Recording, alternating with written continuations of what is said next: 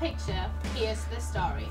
Zero to Hero, the newest talk show in Clitheroe. This week, my guest was King David of Israel. He talked about being an ordinary person, but doing extraordinary things.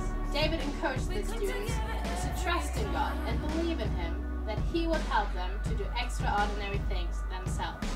Watch this space for more updates on Zero to Hero.